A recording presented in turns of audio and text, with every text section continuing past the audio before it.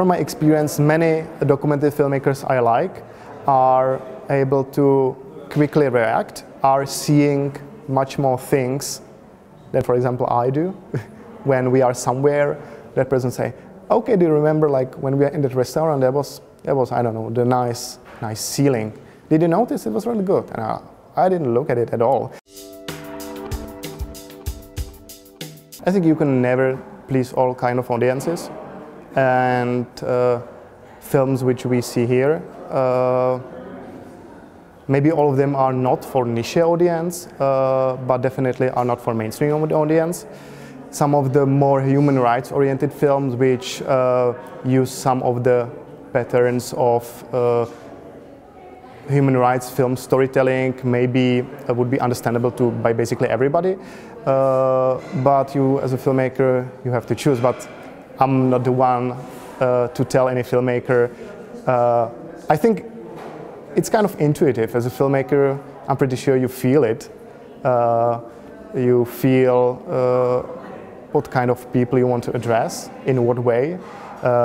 You over over the course of years, you get to know also you as a spectator, and I think it really develops. Uh, like each person uh, changes as a spectator and the taste change. Difficult to really analyze it, but I think it's more intuitive thing. I think in the history, many times it was much more uh, a decision made by film industry, uh, made by media companies, uh, what will be useful to tell something.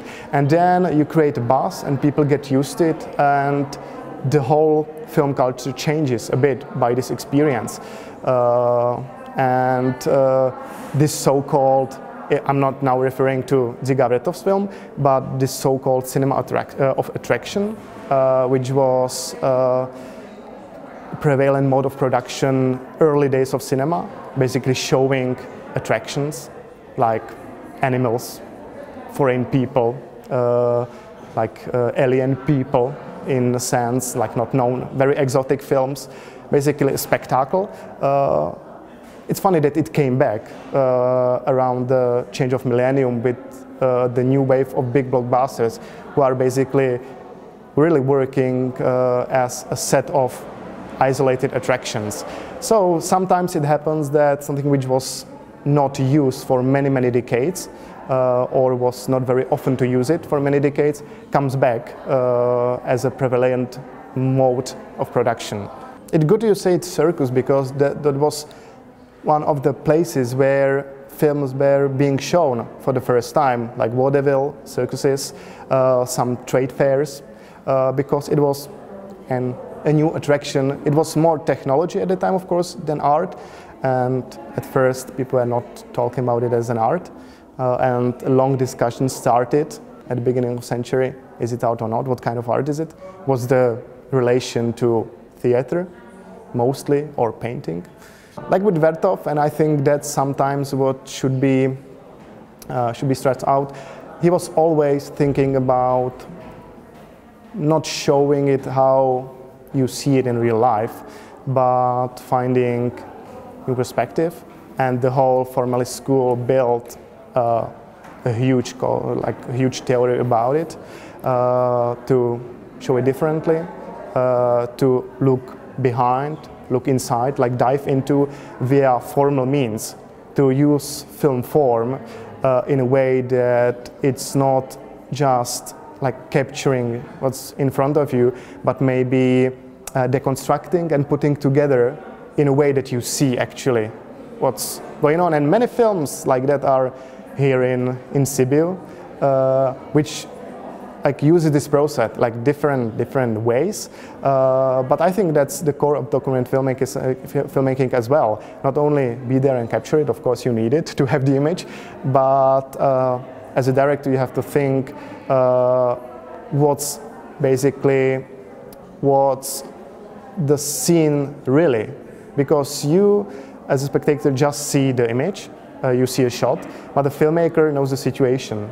Uh, he is able to observe, to talk to people, to understand it much better than you, and he has to use it formally, uh, or she has to use it formally uh, in, in the film to deconstruct and show it.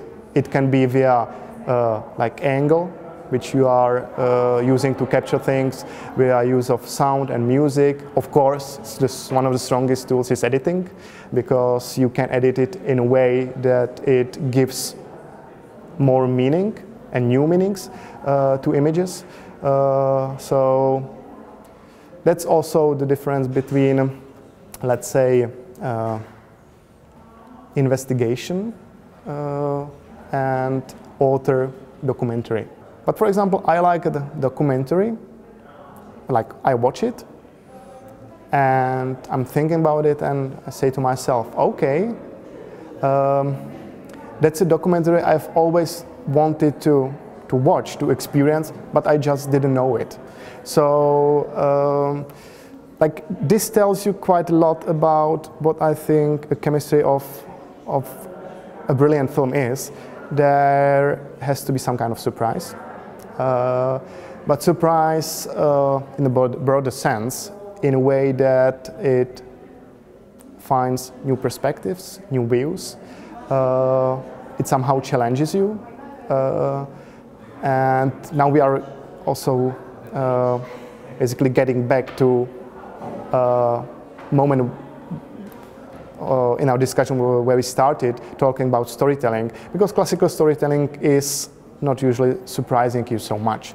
The situations in the film maybe, but the structure of the film not. Uh, and for me, I think I like the films which are more challenging in this way. Uh, yeah, I think that's it. To have a good festival, you need to have guests in terms of like filmmakers there. Uh, so I encourage even the smallest festivals out there uh, try to invite as many filmmakers as possible. Uh, and I'm speaking for myself. I started with a festival where we screen basically two films. So it's the tiniest uh, imaginable size of a festival. And I always invite filmmakers of both films because I think without them it's not a festival. And of course you have to have an audience.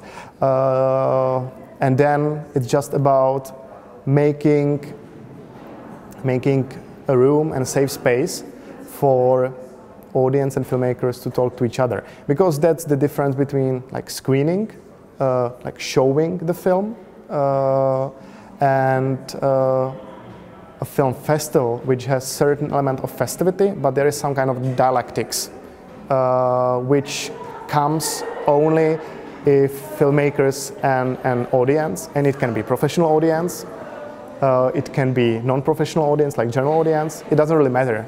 Uh, but once they are connected, uh, something grows out of it, which is much more than those separate parts.